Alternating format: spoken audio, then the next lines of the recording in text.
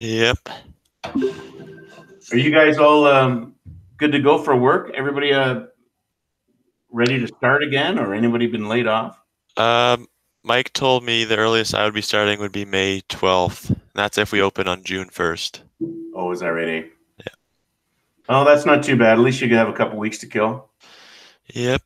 There's a petition going around right now to allow golf in Ontario, and that's almost f- filled out. So Yeah, we should be opening pretty soon. But I think so. There'll be uh, there's so many alternatives to to you know maintain distancing and still play golf. So I Yeah. don't think I don't think it'll be um, a problem for too long.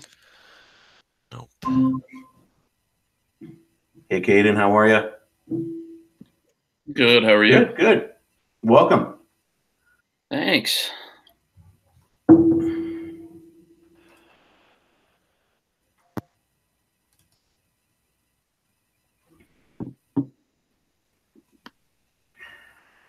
Everybody can see the screen all right? Yep. Awesome. Oops.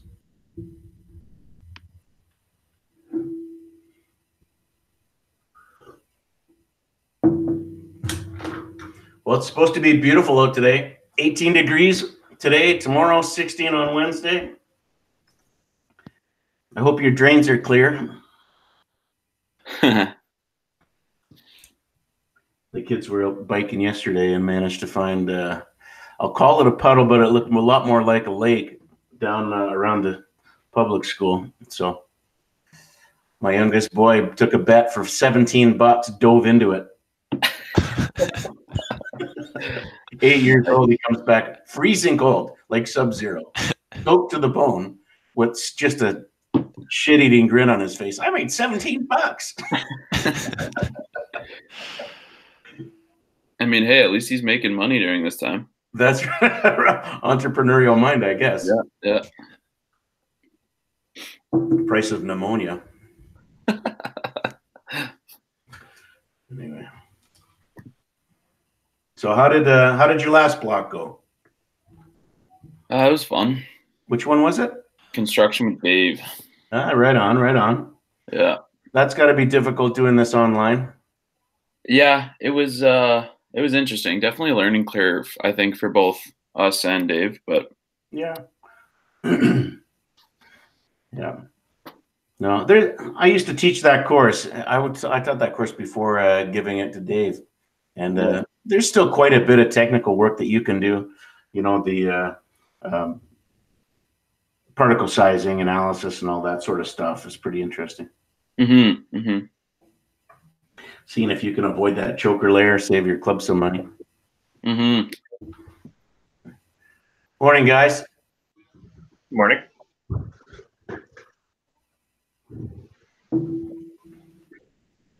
Is that James I see? Uh, I go by Darren, but uh, yeah, that's me. How are you, buddy? How are you feeling these days? Oh man, it's been an up and down uh, ride the last week and a half, but uh, I'm here. I'm ready to finish this out. So Well, glad to hear you push through, man. it's uh, a pretty weird time to have respiratory issues. Let me tell you. Yeah. I hope you're uh you're not working, you're staying home, I hope. Uh, yeah, I'm not. I'm not working, and I think he's just got a bare bones crew going to be pulling tarps this week. Uh, him and the mechanic and his two kids, I think, is all that's going to be out there. So that's going to be a challenge. I'm sure we usually have about 13 to 15 people out there in one day pulling tarps. So Yeah. Oh well, do what you gotta do, I guess. Well, I, I drove by today and it looks like there's uh, quite a bit of snow that's gone off of them. So uh, that's a good sign. Yeah. I should give him a call. Maybe I can sneak up there. Yeah, we're, I'm going a bit stir crazy over here. Yeah. Isn't everyone? I know um, the, just on Twitter, Jason was posting that there's been a lot of uh, water puddles everywhere else. So he's been dealing with the, the massive runoff and all his dugouts and everything is full. So they're dealing with Yeah, that. I- It won't last long. I just uh, drove by there today and uh, this morning I was out there just driving by to see what it looked like, and uh, it like the third fairway is a puddle from front to end. It's, Oh wow. it, yeah, but that's always the low the low spot there. We got a drain pipe, but it's still there's a lot of uh, water coming off the course for sure. Yeah, Yeah, Coyote Creek's going to be well. This week will help melt, but we uh, yesterday there was still about 22 inches snow down there at the river. So Wow, that's quite a bit. Well, it's supposed to be 16 degrees all day today and sunny. Yeah. So uh, that stuff's gonna go quick. Yeah, the puddles aren't going to get any smaller, I don't think today. No.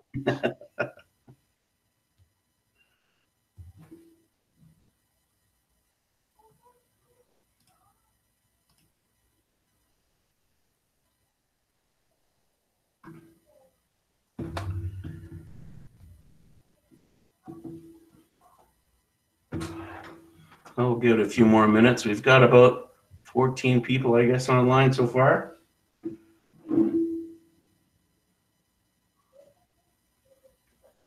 So with your class with Dave, did you guys stay online right till 1220 every day?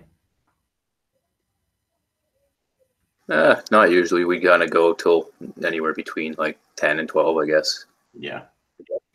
Yeah, right on. Sounds like it's gonna be it's gonna be more of the same uh, on this one. There's really no need. I mean, even in a regular classroom, after that first introductory sort of lecture session, whatever, um, I would just wander around and talk to you guys anyways. So to be truthful, this the online format in this last block actually works really, really well. I think. I uh, I hope we can keep this up for the rest of uh, like from here on in. It'd be fantastic to be able to get you guys back out into industry earlier. Yeah, I know that we got pretty lucky when we did the Rainbird software. Yeah, That week that everything all hit the fan. We were already scheduled to remotely have control of a desktop. yep, And I think that it was a saving grace that we got into that remote server a whole week before the whole college started trying. yeah, Because from what I've heard, the week after we finished our Rainbird course, um, everyone fired back up at the college, and it's just been an absolute shit show with uh, people just losing connection in the middle of trying to use the college's software from somewhere else. Yep. And we had a little bit of issues with that, but we had the tech guy pretty much just to ourselves yeah. and I think that that helped us a lot. So, That's Um, huge. and I I don't I feel like everyone learned a ton from what we were taught on the software. That last course that we went through, the construction one, that was a challenge because um, you know that was a hands-on construction course that we ended up not having a hand on at all. So Yep, that's a hard one for sure. Yeah, we. Uh, I found the same thing. We didn't really because I had the degree guys during the shutdown. We didn't really stop, so my stuff is pretty much um, ready to go online anyway. So we just kept going status quo, and we had no problems that first week. But then, as you say, as soon as the rest of the college picked up, and really educators right across the country um, that took a week off and started back up, um, the pa- platforms were crashing all over the place, and it's just just so much usage. So even now, like what we'll find, it happened to Marcus and I already this morning, where you can hear me just fine right now. We can talk to each other just fine. All of a sudden, boom, the noise will, or the uh, the sound will kick off, or the screen will kick off, and I have to turn it off, reset. It only takes a second, uh, and then it fixes itself. But it's kind of interesting how uh, yeah, systems being burdened right now. Well, I was taught, I mean, we're lucky that we're just using this Google Meets. Like, there's classes that are trying to access uh, GPS mapping Oh yeah, and, and trying to do some of their labs, um, like through the land management programs and stuff like that. yeah. And and they also have tests once every two to four weeks. They have, you know, and so I think a lot of them after that first week went down, they all just took the credits that they could and did that thing where they sort of, you know, it's not going to affect their grades later on because of this, but you know, I think it affected their learning for sure. So Yeah, there's lots of uh, uh, lots of people in that same boat. A lot of educators having a, a having to figure things out kind of on the fly. It kind of reminds me of first year teaching. Here's the job. Happy Friday. You start Monday. Figure it out. Yeah. So anyway, I uh, I got to hand it to Dave and Ian with some of those hands-on classes. I'm a bit uh, shielded from all that, and because my courses as you'll learn today and and even next year are uh, business and management related. So uh, it's much easier for me to to uh, you know convert, so to speak. Yeah.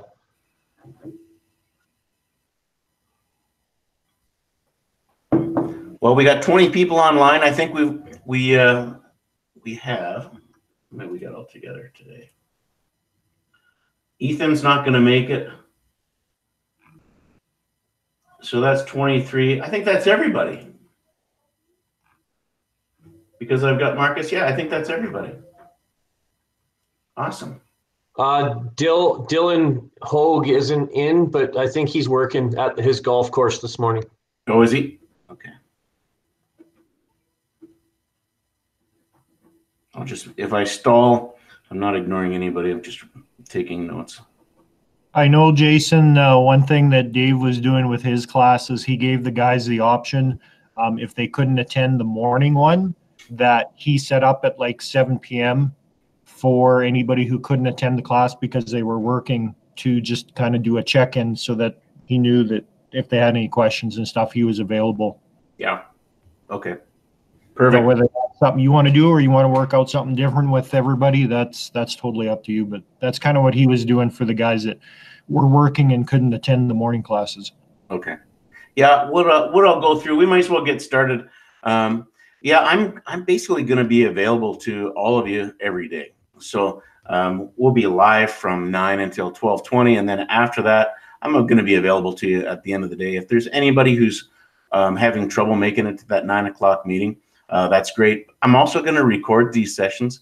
If anybody wants to go back and find the the um, link and scan through, you know, an old uh, a university trick that um, uh, several have used before is they play it back at a one and a half speed, get a get a three hour lecture done in, a, in an hour and a half. So those th- there's that option there too. But of course, if you uh, feel that anybody feels the need that they want to um, talk or connect later on in the day, whenever they're available, uh, you know, I'm uh, I'm pretty flexible.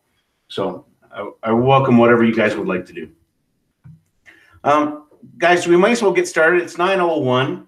Um, thanks for joining us. Thanks for uh, coming to this last block. Welcome back. Um, to get uh, to get things rolling, we haven't had a class together yet, so I think. Oh, there's Dylan. How are you, man? Um, to just to get started, to give you guys a little bit of um, my background. I've been in the golf industry since I was about 14 years old. I started off in Southern Ontario, working at Elmira Golf Course, my my uh, the town where I grew up. Um, I worked there for about five years, I guess, until I realized I wanted to start moving around and and whatnot. Uh, moved on to another golf course nearby Conestoga before uh, taking off to Guelph University and getting my uh, diploma uh, in turf.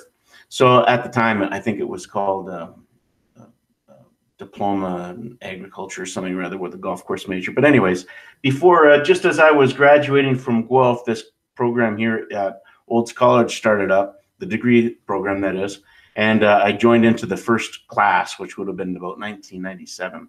Anyhow, um, before I was done uh, my degree for the work term, they invited me to be the assistant at Banff Springs, uh, just nearby here, and I spent started on with uh, Fairmont Hotels and Resorts. I worked with them for about 10 years, uh, moving from started at Banff uh, and then transferred over to Chateau Whistler in BC.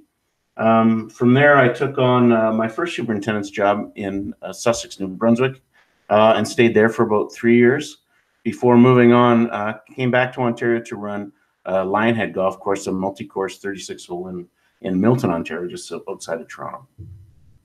So um, in uh, in the interim, after a year at Lionhead, um, I took a job. Fairmont had a they had a hotel in Bermuda that was particularly badly beaten by a hurricane, and called me to see if I would come and come back and uh, help fix it up. You can imagine every every tree on it was a Category Five hurricane. Every tree on the property was torn up. The uh, it was a gigantic 600 room hotel um, kind of L-shaped, and the and the uh, hurricane picked up one side of the hotel and slammed it down on the other, and then flung it back. So you can just imagine just the level of destruction. Anyway, so I went back um, to help and um, and stayed for seven years. So, anyways, uh, prior to that, I built a golf course in Milton. I was waiting for my um, uh, permit to pass and uh, got in with Club Link for a period of time to help build uh, uh, build Glencairn in just outside of Milton while I was waiting for my visa to uh, get going. So, anyhow, um, since then I've been um, well. That was after seven years in Bermuda. They kick you out after seven years. That's the that's the duration of your work permit. Um, so the job came up at the college, and I of course took it. And the nice thing about the college is they uh, they afford any education you want to take. So I kept doing it. It's been about 11 years now since I started at the school, uh, and since I've done another master's in turf science from uh, Penn State and a business diploma from McMaster. Uh, just a great uh, great opportunity to keep learning. There's always more to learn. So, anyways, and here I am, um, still at it. Uh, I'm on the side uh, when I'm not teaching. I also uh, am the CEO of the uh, Alberta Turfgrass Research Foundation. So when I'm not doing classes with you guys, uh, I'm usually doing delivering uh, lectures for the Research Foundation or performing research, which we're going to get into later on in this class. Um, and yeah, that's that's pretty much where I'm at in terms of my experience. So you know when um, when we're chatting about these kinds of things. I'm uh, I'm not a strawberry farmer. I've been through this before over uh, just a, coming on to 40 years now. So uh, I want you to be able to be comfortable enough to ask me any question anytime um, on any topic. You know, there was uh, I often love to have uh, a day where it's kind of a free willy. Do whatever you want. Ask whatever you want. What's relevant to you uh, at the time? I'm happy to talk about just about anything. Because the truth is, if you have a question about it, uh, it's happening at work, then it's relevant. So, um, anyway, that's enough about me. Um, you guys should probably see by now the Moodle layout here is uh, pretty self-explanatory. Um, right off the hop, I've put uh, I put you guys all in groups. It's um, randomly chosen from Moodle. If anybody has a serious problem with that, please let me know. But I trust it's it's going to be just fine. Um, we're kind of laid out here pretty standard: Monday, Tuesday, Wednesday, Thursday, and so on, right through uh, right down to the bottom. The very last day of classes here on the 30th um, is kind of a floater day. Uh, I'm hoping that we'll take some time to, to prep for your internships, uh, what those look like now in light of COVID and everything else. Um, so anyways, I, I call that a little bit of a floater. Now these days are also a bit flexible. Um, we're not going to jump ahead if if I don't feel that everybody's comfortable or we've really hit the mark in term of in terms of the theory. If we need to take another day, um, the nice thing about this format is I can yank out one of these modules if need be in order to make sure that we um, uh, complete one of these competencies. So uh, what can I say? It's dynamic, uh, as you guys have probably experienced already in some of these other classes. So um, to give, uh, you know, I like to give you a little bit of a piece here in terms of um, what to expect. Um, this day, this daily Google Meet again, nine until twelve twenty. I'm going to be um, available live. Uh, what I typically do is I'll turn off my microphone and turn a little bit of music on, um, so you guys know that I'm still here. Uh, so you're welcome to use the chat box, reach out to me directly. I can hear you on the other end, so uh, don't feel like I'm gone. Um, the uh, daily expectation for the class here is uh, essentially re read all these Moodle books. You can see your day one, this one doesn't really count. But what I would what I would typically ask you guys to do is read through module A1, A2, A3, and when class begins, um, start of the day, you'd be fairly familiar with um, what the topic of conversation is going to be, and allow us to jump right into the uh, activity with with uh, uh, only a, a, small amount of lead time. Uh, what you'll find is uh, typically I'll have a brief presentation here every day. I'll give you one today um, because I realize that most of you haven't read um, the uh, books at all. The lesson is simply to uh, kind of summarize, give you the Coles notes of what's in those books. So I might, I don't always give that to you, but I certainly will today. Um, after we do our little um, catch up, um, we'll go over any quizzes we'll review any assignments that uh, you guys worked on the day before. Make sure everybody's on track, um, and answer those up before getting right into uh, usually an activity each day and an assignment each day. Now, as you review through here, you'll see it's quite balanced. Um, there's, I would say, about 60% individual work with about 40% uh, group work. So you'll, uh, and some of the some of the assignments and activities are blended. So it has um, it has a. Uh, I got a message here from to open up the lesson plan. Absolutely sorry about that.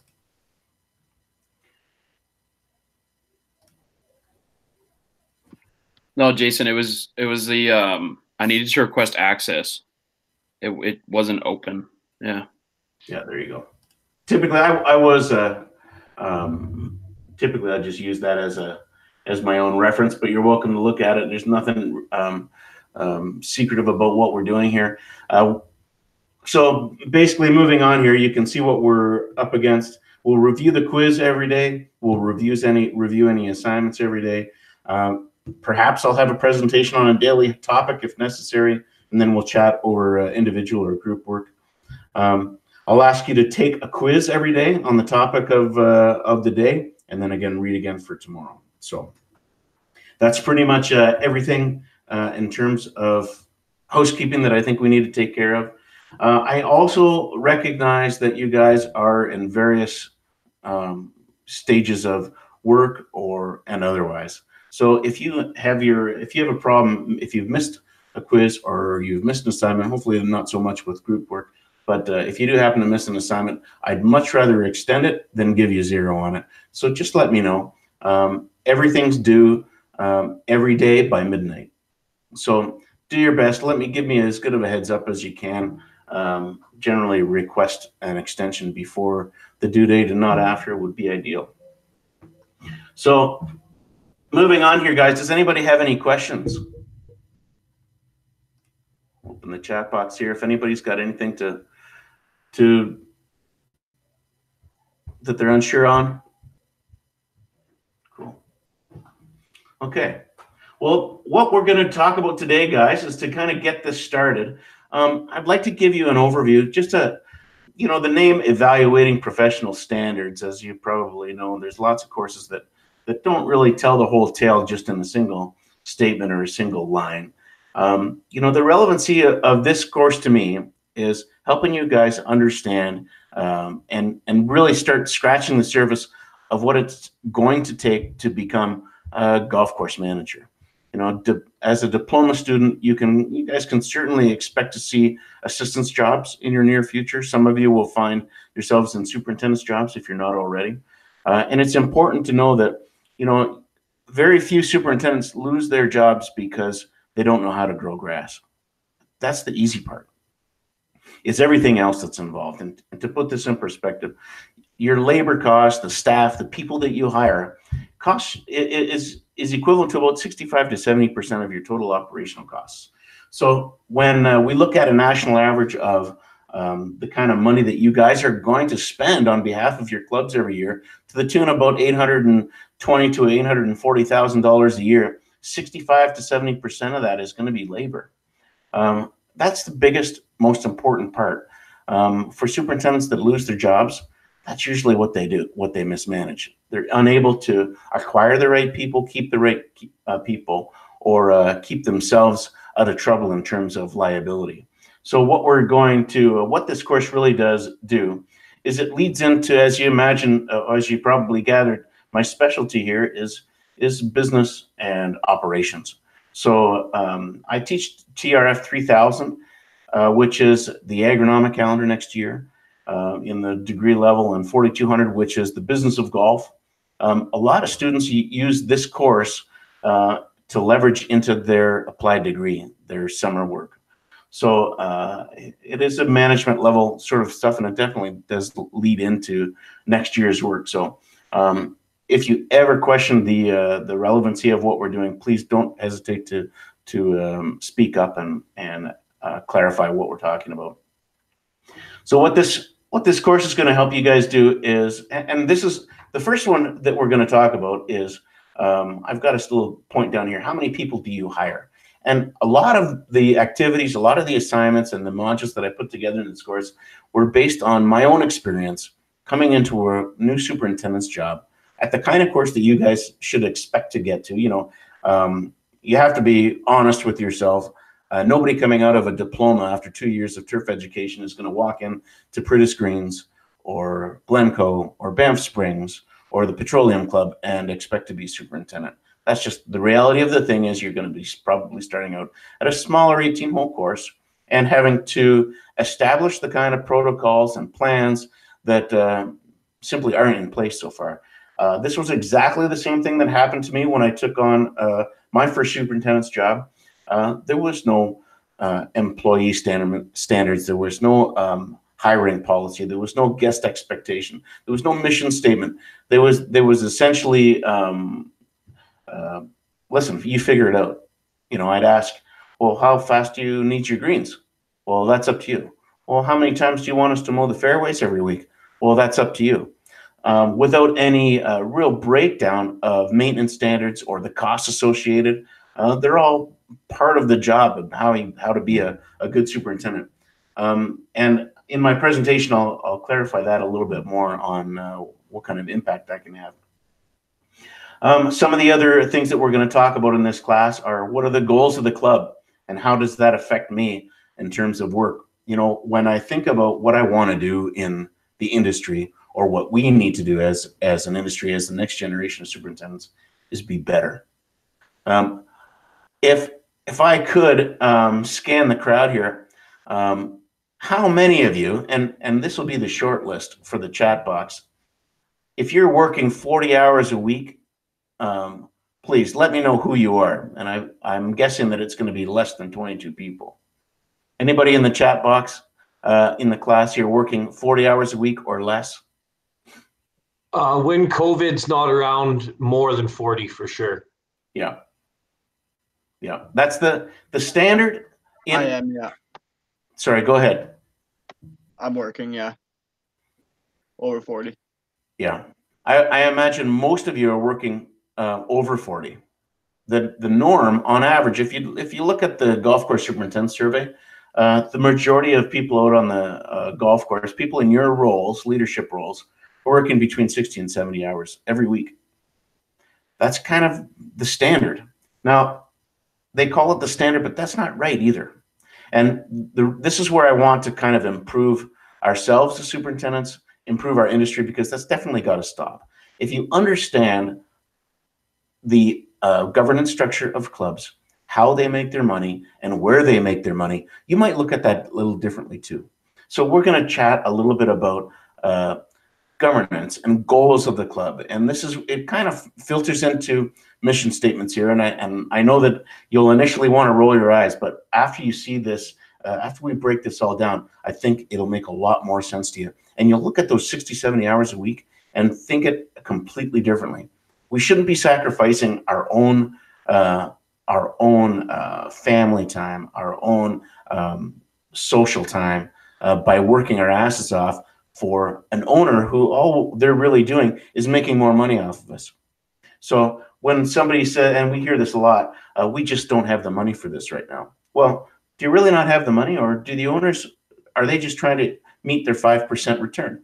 So, anyways, uh, I'll take you into a little bit of a, a business side uh, view of golf course ownership that I don't think a lot of um, uh, superintendents have experience in, and uh, I can promise you that very few clubs uh, or very few uh, um, turf programs educate you about this. They'll teach you how to grow grass, and I'm hoping to take you a little bit further. Um, we're also going to talk a little bit about um, policy writing. And I, again, I don't want you to roll your eyes because really what it means is uh, how can I legally hire somebody and how can I fire somebody? How do I avoid somebody standing at the end of my desk at the end of the day saying, why does Jimmy make more than me when we do the same jobs? And uh, uh, how to avoid the legality side of it, how to look at um, staff with a very objective point of view as a very, as opposed to a subjective point of view. Um, now that marijuana is legal amongst all these other things with our next generation of employees, you've got to be able to know what your rights are and what you can and cannot do with your staff. Um, anyway, policies are uh, perfect. in that regard uh, to help cover your uh, tail, so to speak. And last but not least, how this all sums up, uh, what we're going to do, the final project in this class is uh, we're going to produce an employee handbook, and not in the traditional sense. Um, I'm sure there's lots of you who have started jobs where they've handed you this massive three ring binder and say, and say, read this, learn it. Um, it's a requirement of employment. And uh, speaking of my own experience, that was the first thing that went in my locker and never moved for the duration of my employment there. So we're uh, what we're going to do is we're going to take those five components of the lesson plan, if you're following, that I just explained, and put them into a uh, web page. And the web page is not going to go away. Uh, hopefully, some of you have even embarked on this already. But um, the web page is a way to collect all the um, all these activities, all the assignments that we're going to do over the next two weeks, and put them all together. Everything in this class is going to build to that final assignment. So your uh, the final assignment, which is your employee handbook, has about nine components. And uh, conveniently enough, we've got nine components to put in it that we're going to cover each day. So the uh, the final assignment is, should not be too intimidating to you. We're going to be working through them uh, every single day. The every day we we uh, have a class, the closer we get to the finish. So really, by the time we get to that final assignment, all you're really doing is fine tuning. So nothing too um, shouldn't be too uh, intimidating. Um, any questions so far, guys, about uh, what we're what we're up to in the course as far as uh, what we need to do, the expectation? Uh, I think that was that was really great. Uh, it outlined what we're doing pretty well. Um, you guys should all know too that uh, this is college. I don't take attendance. If uh, you're in your groups, you're accountable to each other, right? If you can't be in class you're working, you're unable to, you need to coordinate this with your team to make sure that you can get stuff done. Um, a lot of the when you dig into some of these assignments, you're going to see that there's there's individual portions in it um, that I'm asking you to just be accountable for. If, uh, for example, they'll you'll have a group assignment that has five components in it, and I'll have each one of you need to choose, pick horse trade, whatever you want to call it, um, pick one of those components and just put your name beside it. Say, hey, this is the one I did. That's the individual portion. The the group um, portion of these assignments is the coordination of all that. I don't want you to take um, five different pieces and chuck them in a bowl and shake them about and then just submit it. It needs, you know, part of uh, a fluid assignment, um, something that's coherent, means that you're sharing all your stuff together and you're talking it through and you're saying, yeah, this fits right here. This fits better there. Let's move it around. That's the that's the group work that I'm uh, trying to get out of you to show that you're working together um, while at the same time you can still do your own sort of uh, stuff.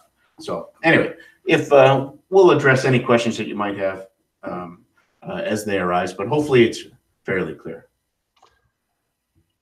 Um, on that note, whoever's in Group A, uh, William, Jacob, Jordan, and Nolan. Uh, John's wife went into labor this morning, and he is at the Red Deer Hospital having a child. So he's not, in, he's not in class this morning. So I thought that was pretty cool. And he just messaged me and told me to let uh, you guys know that that's why he's not in class.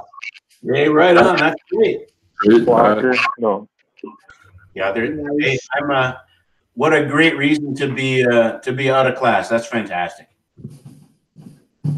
Thanks for letting us know, Darren. Awesome. Well, hey, get a get. Uh, you know, Jordan's going to want to take some time um, to take care of that sort of business and get to know his new family member. Um, I can reach out to him too and um, see what we can't work out. Uh, pretty. Yeah, that, that's actually John. John McLean. Sorry, I said whoever it said this. Anyway, um, I'll reach out to him and make sure that we can make uh, some uh, adjustments here. He's obviously going to be want to want to get to know his uh, his son or daughter there, and, and, we'll make accommodations. Same with everybody on the on the uh, on the wire here. Um, life tends to happen, and uh, things like that certainly take priority. Um, and I totally, totally respect that. So just let just got to let me know what's going on. Awesome. Well, moving on, guys. Uh, before uh, before I jump right into the lesson for today, Um, Marcus has left something for us here. This is a COVID supplementary form. Um, it's just, as you know, COVID changes things day to day. You've already done a survey for him. This is uh, one extra question that they had to ask that he's hoping you guys can fill it out. Um, if you don't mind, it only takes it takes about two seconds. You can see um, name, what year you're enrolled in, and what date. If you could take care of that right now for for uh, Marcus, I know he would sure appreciate it. So, um, and then we'll uh, get going.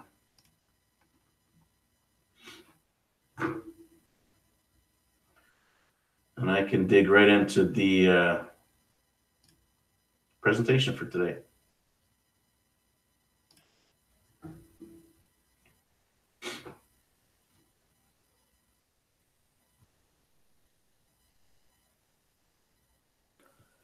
Jason, uh, just so you know, my wife is uh, due in two weeks as well, so I'll be uh, possibly having to dip out here soon. Hey, congratulations, Evan! That's fantastic.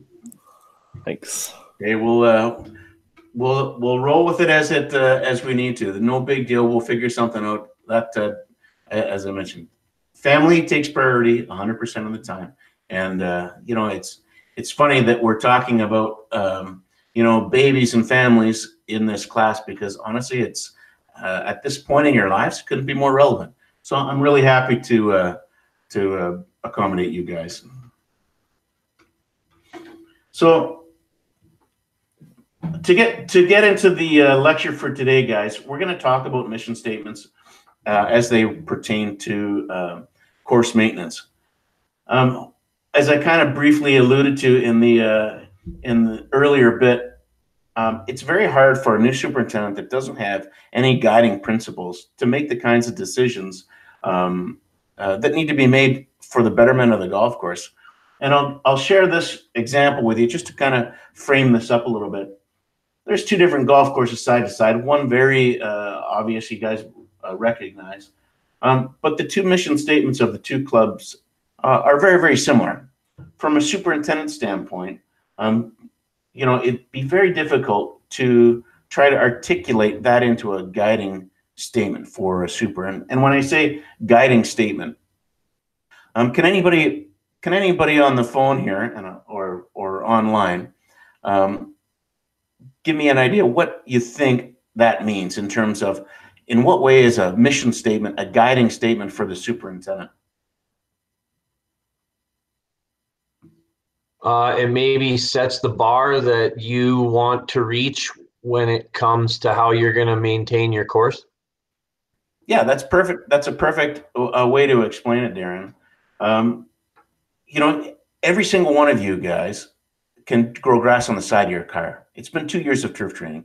You can you can do just about anything with a, a, a blade of grass. Um, and in my experience, all of you want to go out there and produce Augusta every single day but you can't without a, a, a, some kind of benchmark from your club.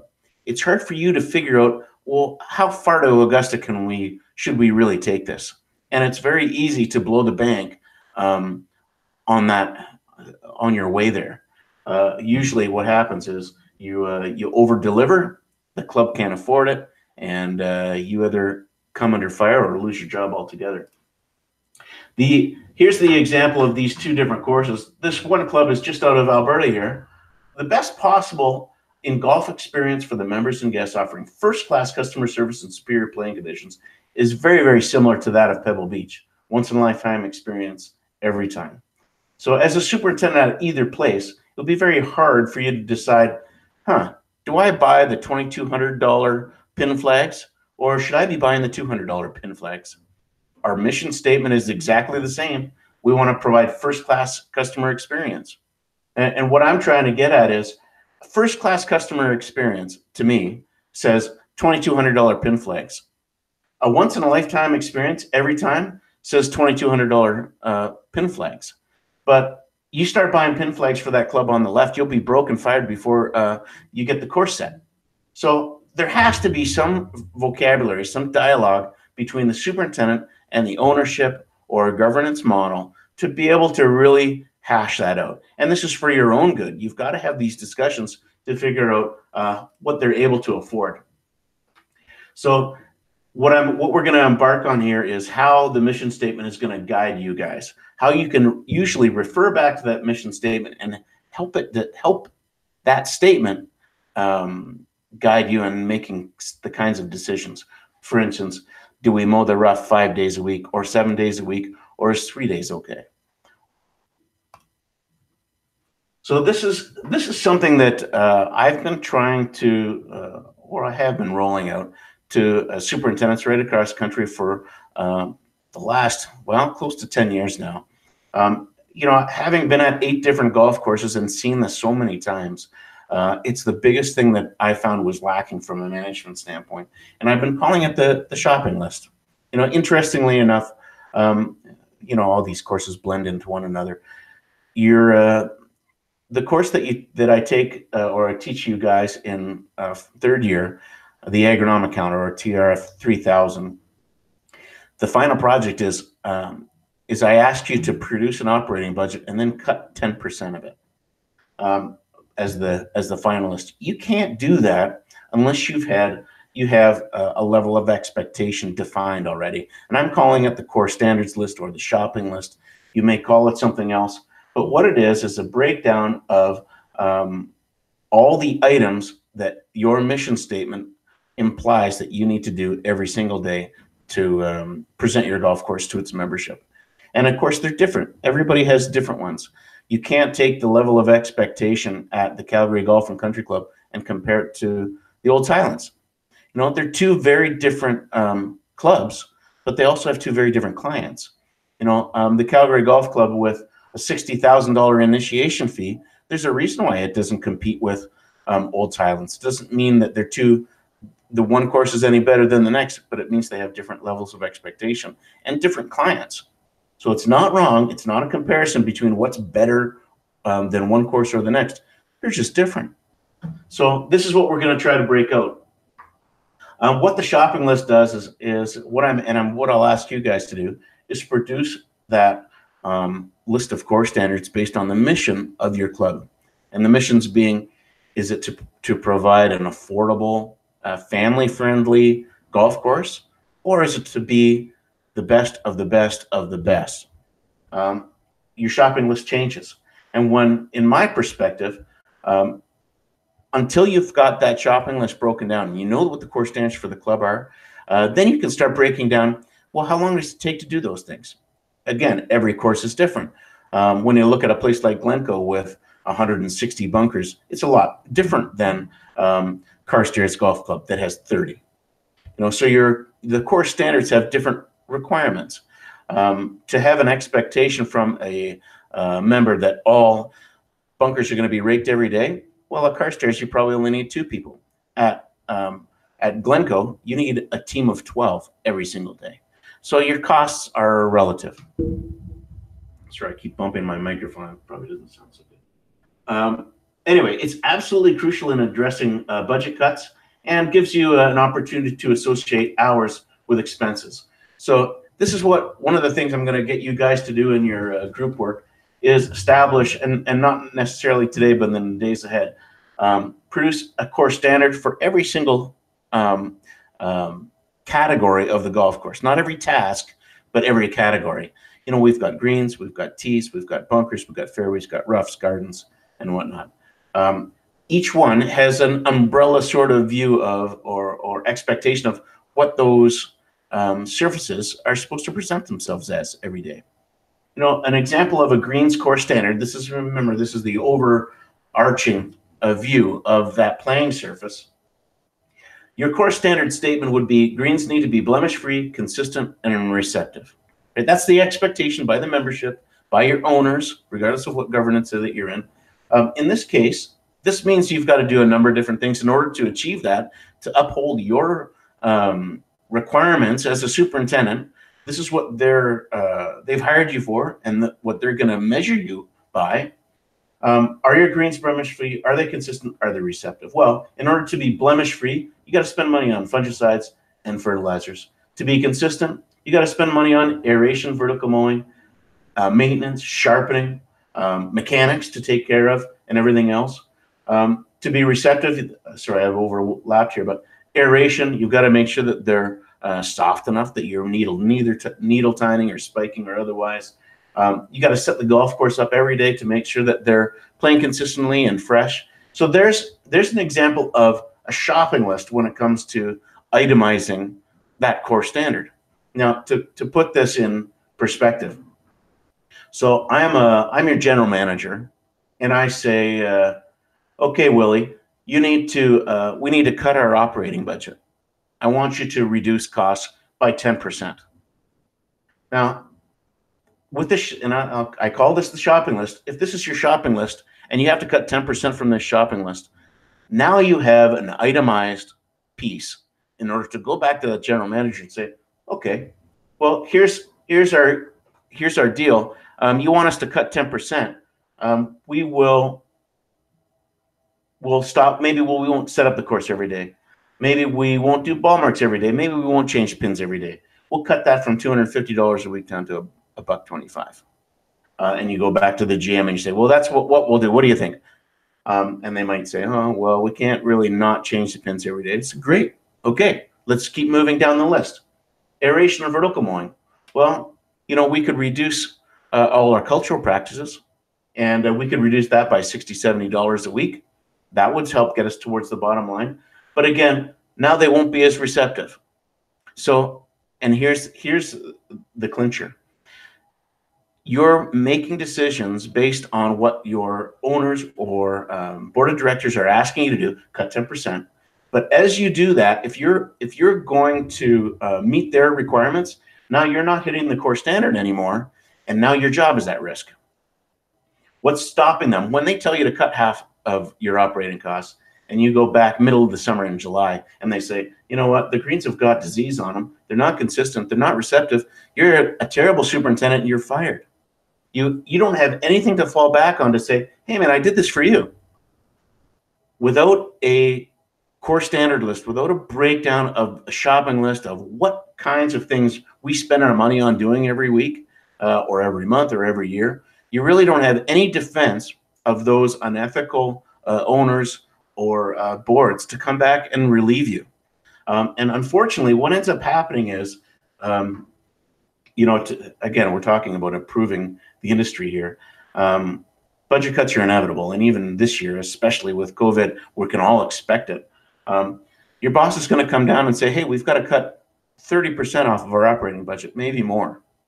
So what you're going to do is you're going to lay people off because that's the highest component of of um, your labor costs, uh, but you're not going to have it itemized. So what ends up happening is you, as the salaried labor force, end up working harder and harder and harder 60, 70, 80 hour statistic you're making your way up to, and you're not adjusting the maintenance standards.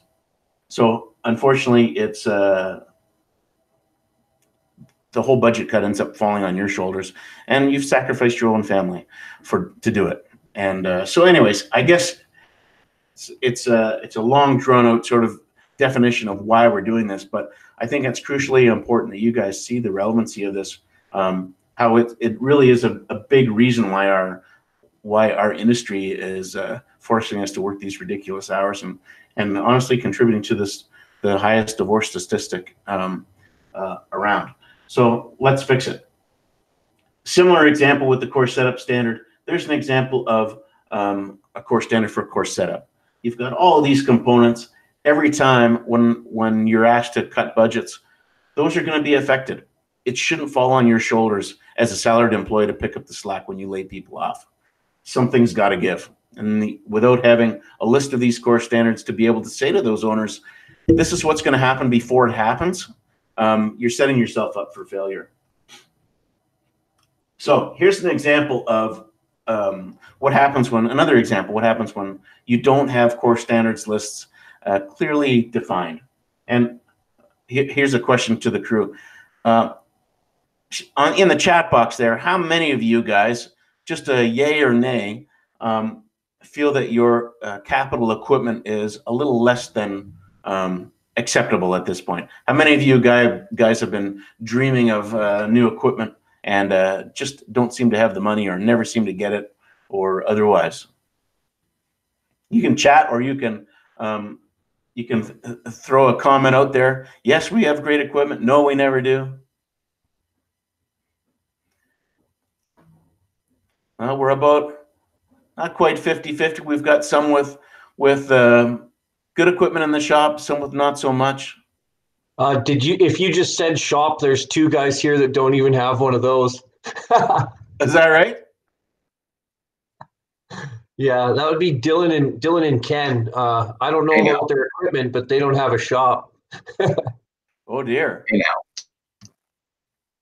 Where are you keeping your equipment? Tent? A compound.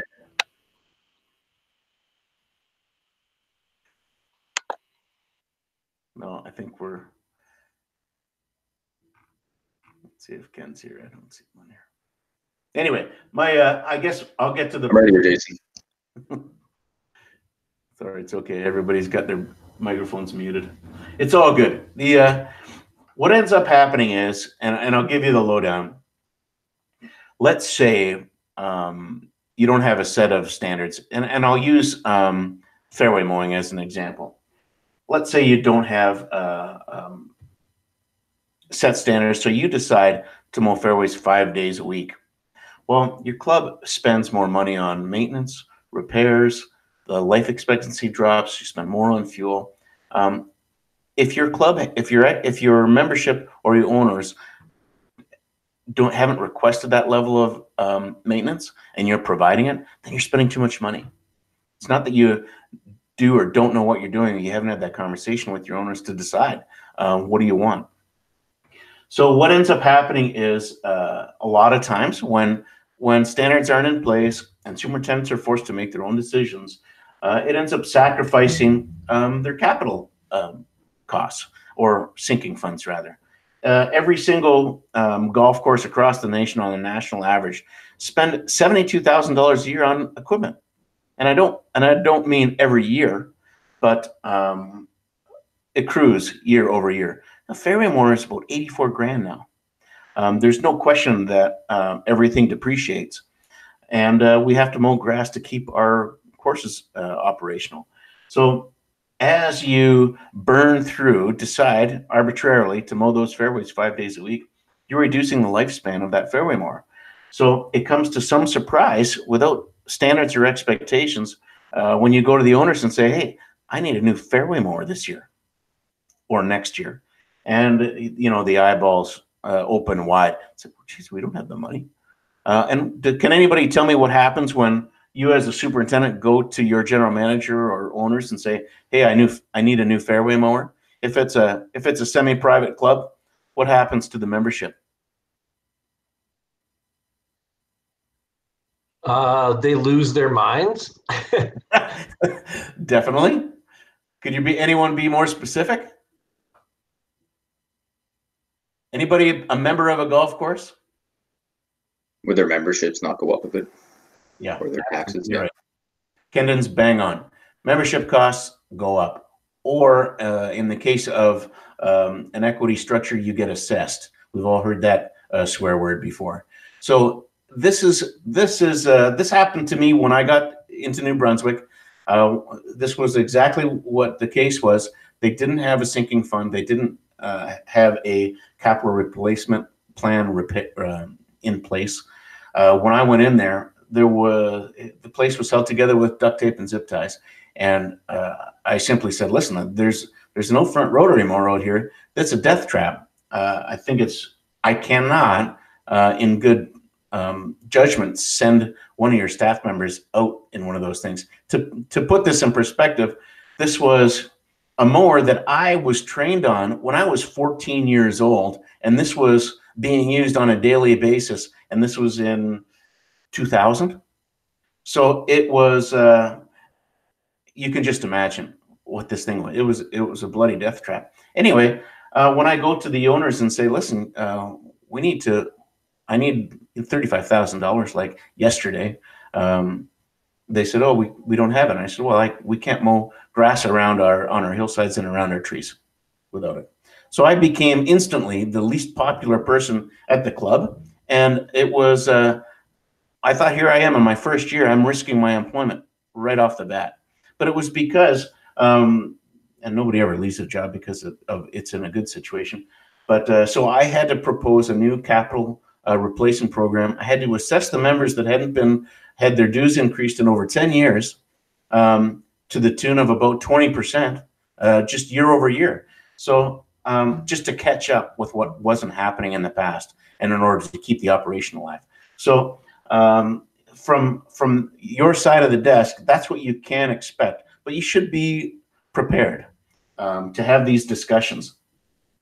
You know, when you don't have a sinking fund or you don't have uh, money set aside every year for equipment replacement, um, your repair bills increase, your equipment repair costs skyrocket. You know, and uh, right across the board, clubs spending any more than about 25 grand a year on equipment repairs means their uh, equipment replacement um, uh, fund is not working correctly, or they've been um, or they've been deferred too many years. Of course, your equipment uh, conditions decline. You know, when you're when you're dealing with a 15 or 20 year old greens mower, you can't always count on it to start every day. So there's an expectation that you're being held accountable to. The greens have to be mowed and receptive and consistent every day. But the capital, um, without capital, you're kind of risking your own employment, even though that's not your fault. Uh, how can you be held accountable for something that is has been beyond your control for however many years? So, um, not to mention, um, we all have mechanics that might drink uh, a little more than they should. At least in my experience, they certainly did. Uh, when you keep uh, when you keep them running old, crappy equipment, um, that tends to accentuate the problem. Now, some, something else in terms of core standards that you guys have to consider is labor costs. Um, you know, to, to compare the cost of equipment flatly, excuse me, between Triplex and Walker, for instance, is kind of a moot point. Triplex is about 35 grand a year, and the Walkers are anywhere between seven and 10. But you also need a golf cart, you also need trailers and all that sort of stuff. The, the equipment, the capital part of it is really not the big number. It's always labor. I mentioned before, labor's 65 to 70% of your total operating costs. So anytime that you can reduce labor, you're going to reduce money. Now, as a superintendent, if you haven't established the expectation of your owners or your players membership, uh, you might be um, you might consider say, hey, walk mowers provide every single surface is much more consistent. It's easier for or, or better quality conditions. I think the whole compaction issue is is a moot point anymore. But anyway, your arbitrary decision as a superintendent to walk mow your greens is costing your club about 20 grand a year. So when the club says, and here we are in COVID where all this comes dramatically relevant, um, when the club says, hey, you've you've got to cut 60 grand off of your operating budget in order for us to survive, what can you do? Uh, these are the kinds of things that you have to decide and have the discussion, core standards wise. Do we really need to use walkers or can we use uh, triplexes? Here's another example uh, from fairways, and this is probably the one most dramatic one that I've uh, come across over the years. Um, on the left there, you see British Open style, salt and pepper, however you want to call it, down one side of the fairway, up the other. Um, as opposed to on the right hand side, a, a really elaborate cross hatching. I mean, that's an exaggerated example, of course, but uh, whenever you're burning in those fairway lines and putting in those kinds of stripes, uh, it costs money, right? It takes twice as much time. So the simple math is uh, your decision as a superintendent, you may like the cross hatching look. You might look uh, at that as, hey, that, that looks pro. Um, but the fact is you're costing your club about 8,500 bucks um, in just in hours a year. Just and that's just a that's a subjective opinion of what you think looks better. In actual fact, this image on the left here, that might be your member preference. So where this is where the discussion has to happen between your ownership and your superintendent to say, what are what are the expectations of the club? Because they all affect the bottom line. Now here's a here's a uh, to take this even a little bit further. You know, we're paying 84, 85 grand for one of these fairway mowers right now. And your decision here on the right hand side to cross hatch those fairways, you're reducing the effective life of that um, fairway mower to just 10 years, as opposed to um, if we were going to go um, British Open style, you'd almost double that. You know, you'd certainly and and realistically, we're probably not going to mow fairways with the same unit for 20 years. But the depreciation, the value of that unit after 10 years is double that of what um, your unit would be on this other example. So your decision, arbitrary or not, subjective or otherwise, have a huge impact on uh, what your club is spending on an annual basis. And if you don't have a set of core standards broken out, um, I think you're wasting your money. So basically, what your mission statement is supposed to do is should clarify the goals of the club and the purpose of the club. Your assignment today, I'm going to ask you to do is look into your own mission statements of your club and and see if it really does give you that guiding light. Does it say unequivocally, yes, we need to uh, double cut and roll our greens every single day? Or does it mean, no, you know what, one times a day with a triplex is plenty? Uh, do we do we uh, uh, mow twice a day, once a day? The mission statement should be a, a, a reference for you as a superintendent to say, and I've done this before. I had our I had our mission statement for our club framed right above my office desk, and every time I would look at a purchase, whether it was foliar fertilizers or um, another load of top dressing sand or uh, a, a new ball washer, I would look at that mission statement and say, is this what our members really want? Is this does this meet the direction of the club? Is this going to help us be profitable? Because that's what you're being measured of ultimately. Can you help the club um, make a dollar, save a dollar? Uh, especially in this climate when uh, very few clubs are making money, most of which are uh, going under. We're still losing about 14 clubs a year to foreclosure because they can't manage their costs. It's the biggest thing we have on our plate right now. Uh, and especially with uh, COVID, um, I hope to prepare you guys better than the average superintendent out there that has no way of how to respond to this. So um, today's task. Now you've got two things that I'm going to ask you guys to do today. Uh, one being your own individual um, assignment. I want you to evaluate your own club's mission statement. Does it imply a certain level of maintenance necessary? Does it suggest your club is affordable versus superior? And what does that uh, superior um, suggest? If and I'll use this example. You know, uh, I use Glencoe and Priddis a lot because honestly, they're the they're the premier clubs in Alberta, and we're all uh, comfortable and, and, familiar with Alberta, so I'll use those uh, regularly. But if for a, for a club like Glencoe, we're there to provide a superior experience, exceptional experience every time. That does imply to uh, at at several levels a superior everything, superior staffing, superior services, superior amendments. You know, um, you can't be uh, associating those kinds of superior or exceptional costs to a club that's geared to family friendly or um, enjoyable golf rounds. Um, Ravencrest, one of my students in the degree um, uh, uh, program, used his mission statement from Ravencrest, which was the most relaxed, laid back club in the province of Alberta. That doesn't suggest, um, you know, 100 staff a year maintaining it. Um, with uh, you know when I worked at Banff Springs there for a while, and our staffing levels were and, and their guest experience uh, was uh, over the top. Um, they want to make create enjoyable experiences every single time. Uh, memorable experiences, I think, was their hashtag. Um, we had a staff of 50, and they were charging 250 bucks a round. Um, we did everything in our power to make every uh, guest have a memorable experience, and that reflected the mission statement. So I'll ask you, does yours reflect yours? When when your mission statement at your club says we want to provide the best possible conditions in all the golf courses in Alberta, but your owners say, yeah, uh, you know, you'll stick to about six people, seven people for staffing this year. Does that really give you a guiding light? Probably not. Um, to give you a little bit of help here, um, the CGSA has a compensation survey that's that's delivered every year. 2017 was the last one, and gives you a, a pretty good breakdown of of um, of what the expectation is in terms of averages and staffing and labor and all that sort of stuff. Uh, have you guys seen that thing yet? Anybody have access to uh, um, that list or that document? Uh, I haven't read it yet personally. No. Okay, if if you think it'll be useful, I'd be happy to share it with you. The industry average of staff is about 15 uh, full-time people and three part-timers per year. That's an average golf course, $824,000 a year. That's average.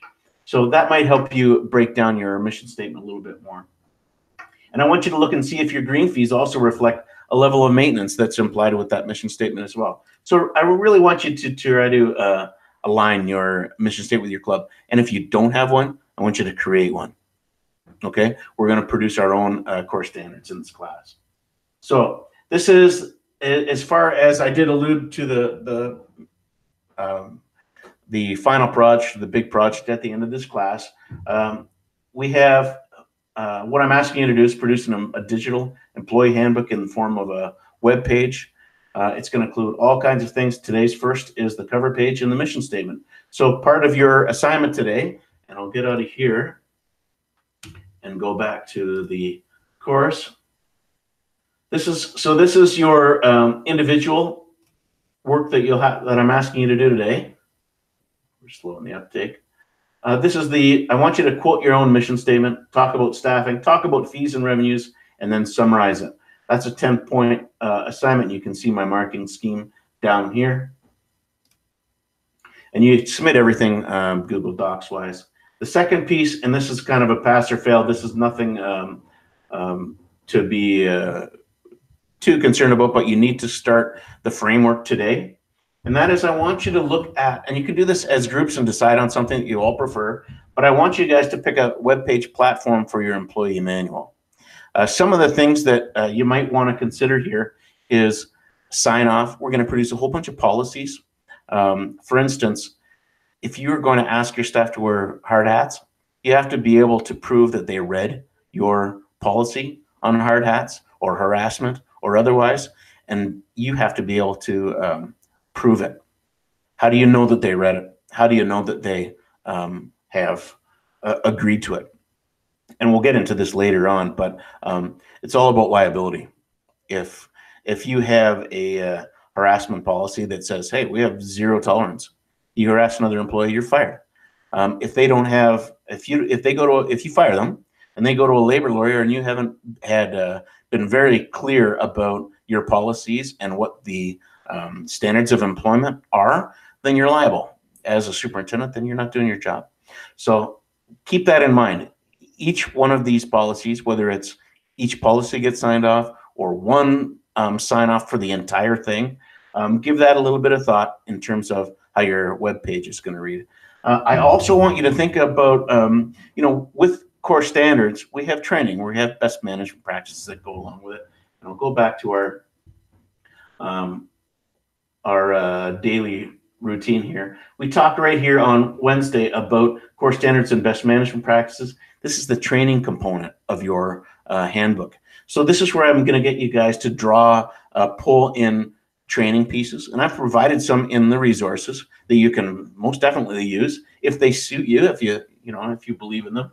Um, but think about that web page as a um, that shell, that container for all your training components. You can have a chapter or a tab on that web page that has this is how we mow greens. This is how we um, perform tee setup. This is how we move blocks, and this is how we move fairways. So think about that um, today. I'd like you to pick a uh, as your assignments for today. Analyze your mission statement and then choose a web page platform for your employee handbook. There should be a place for you to um, submit that. Doesn't look like we're going to have a look at that. Anyway, does anybody have any questions about uh, what is being asked of you today as far as assignments go? Um, do you have any recommendations as to what kind of platforms worked for groups in the past? Like, um, I know there's probably some you have to pay for, some that are free. Um, but uh, would would something like a uh, a uh, Google Sites work for this, or? Yep, absolutely, absolutely. We, uh, you know, I'm always going to try to convince you guys to take uh, the degree, and everything that we do in this diploma blends kind of ladders into this degree. Um, Google Sites has been the web page of choice for the majority of our DFS students. Um, our uh, Andrea Nix is the instructor for 399, which is goes over your student learning plan, and that's one that she's uh, been promoting. We've had a few students go to use the Wix um, as an example. Uh, WordPress, I've had some students do WordPress, but it's not really my favorite. Doesn't I, am not gonna I'm not going to grade you on the um, how colorful your website is, but it does have to be functional in terms of um, it's got to be functional for your staff, and it's got to be something that you can use once you get out into the field.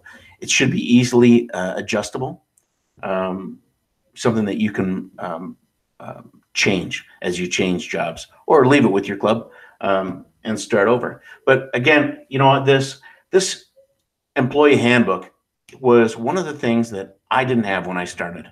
Uh, you know, after after all the education I got and became a superintendent, I found myself at the club and they didn't have these core standards. We didn't have an employee handbook. And I spent the whole first year, you know, all the overtime you can think of, trying to put this together um, because it, I couldn't do it without, um, I still had to hire people. I couldn't do it without having standards and, and expectations. I couldn't set my budget without having a core standard set up. And it was, uh, boy, I, I feel like I lost 10 years of my life in that first year trying to do exactly what we're setting out to do in this class. So I wanted you to, to really um, understand uh, how important this is um, in terms of what you can expect when you get out of here, what I think you're really, really going to use and refer to in the future. Um, a lot of my DFS students use this um, employee handbook and leverage it into their own uh, clubs. So this is this is one of those things. If you look ahead, uh, and if you're planning on coming back next year, this can save you a ton of time and um, really help in your um, applied degree learning goal. So yeah, Wix, Google Sites uh, was a common one that they're pushing it at in third and fourth year. Um, and WordPress was another one. I can't think of anything off the top of my head, but again, it's totally up to you guys. Um, discuss with one another, see what your thoughts are, share some ideas, um, have a look at a few sites. I prefer you find something uh, free, uh, but I don't think they're that expensive to set up if you really want to anyway. Um, so anyway, I would I would urge you to go to Google Sites just because it is free, and I know I, I'm I'm familiar with it anyway. Um, any other questions, guys, from the floor? Uh, so is it like each group is doing a website, or is it like everyone is doing an individual website? All the all the activity, like you see these the governance systems, the score standards sheet, the best management practices, and etiquette and ethics. See, the beauty of this class is they're a lot of them are going to be transferable. You know, the same rule that you might have at your uh, course in terms of um, how to treat your other employees, when to show up, how to address time off and overtime and lateness and all that sort of stuff. Those policies and procedures are going to be transferable to everybody. So you're going to produce them in groups. For the final assignment, you're going to transfer all those group components into your own web page so you have something uh, of your own to walk away with. Does that make sense? Yeah. Uh, any other questions from the floor? What were uh, the just the overall outcome of what we're trying to accomplish in this class? Uh, Jason, just for today, I was just curious about the group assignment. Uh, the big thing is like, so we're coming up with as a group with our own mission statement and are we doing anything with like creating our own policies today? And then the final part, just we're indicating which platform we want to use. Yeah, the today is uh, the there's really only an individual job, and that's your mission statement today. I want you to look at your own club. Oh, okay. Oh, yeah, so the, the activity here, there's it's just a pass or fail. Um, that's just a, a suggestion that you guys chat with one another. And, oh, okay.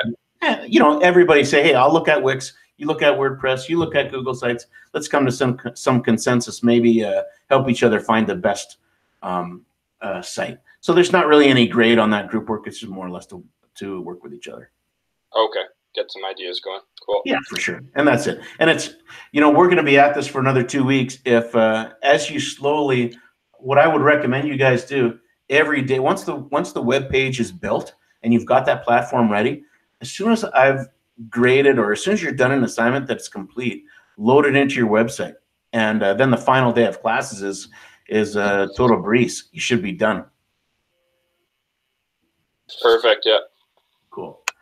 Um, let's see. I'll just check here. Any other questions from the floor?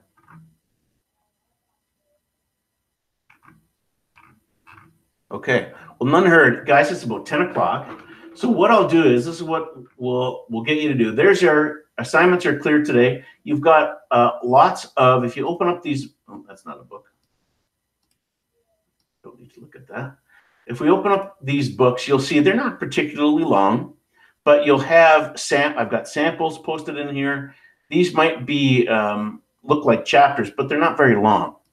So have a look, breeze through, make sure you have uh, take advantage of all the resources that are built in there, and uh, um, it'll. I think it'll help you finish up these assignments.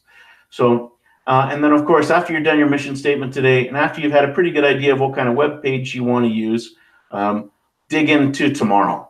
Uh, I'll ask you to read B1, B2, and B3. Uh, this is another uh, article that you can read if you like. Again, all for um, um, just a supporting information. Um, and also, if you don't mind, the GCSAA has, um, because of COVID, has opened up their resources to students, knowing that we're all working online these days. So signing up is free.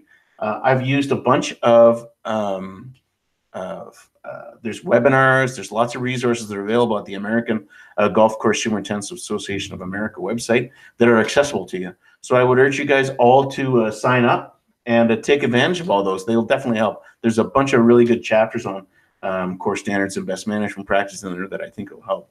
Um, not to mention, for those of you that are coming back next year and plan on coming to the Turf Bowl uh, in Vegas next year, you have to be GCSA member, so you might as well sign up now while it's free.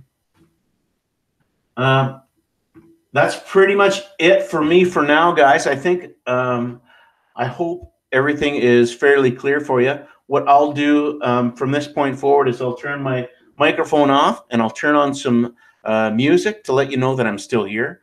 You can reach, I'll, I'll, be able to hear you over the mic or I'll be um, um, watching the chat box. If you have any questions, you can call me directly or you can email me directly or use the messaging, Moodle messaging system if you've got a private question to ask. Um, in terms of your uh, individual groups, I believe you have experience already setting up your own Google Hangouts if you prefer to uh, work in, in groups that way. Does anybody have any other alternatives as to working in your groups? Uh, I think it worked well. Just after we finished our lectures with Dave and Ian, we kind of broke into our little four-person groups, and um, Dave was having us actually invite him into our chats if we needed him and um, he started a sign up sheet there kind of towards the end of the class um, for breakout sessions so if if you wanted him for the next day you could sign up at a certain time and then send him an invite and he would come and join your google chat yeah. um, that's that sort of worked um, and I don't know. I I think that uh, probably most people will break off into their own little groups to kind of get organized. I'd imagine. Yeah. Well, hey, if you'd like me to join your group for a discussion or otherwise, just send. I'm I'm at my desk anyway, so send me an invite and I'll chime right in.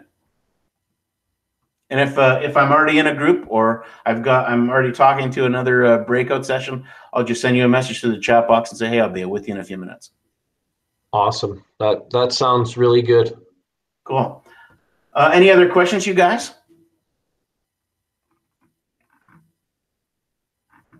All right. Well, None heard. Oh, Antonio, you got a question there? No, I was just going to say I'm good. Okay, beauty. Nice, Tony. right on, guys. Okay, well, hey, let's uh let's break. I'll get you to um, start into your mission statements, do some little investigation. Um, just to before I before I leave you, um, whenever you're making uh, comments on what I'm asking you here, staffing, fees, and revenues, be sure to validate them with your website, whether it's a link or otherwise. Um, I want to be able to, uh, I, I, would love to be able to follow up, check out your website. And so I can, when I give you feedback, it's relevant and it's realistic. So uh, that's all I ask. Include your, um, the link to your website if you have a, a mission statement on there, uh, so I can quickly review it and and not just help with the feedback. Cool. Well, thanks, guys. I'm going to uh, turn off my microphone, turn on some music, and I'll let you go at it. Um, I'm here if you need me. Awesome. Thanks, Jason. Thanks. Thanks, Jason. Yeah.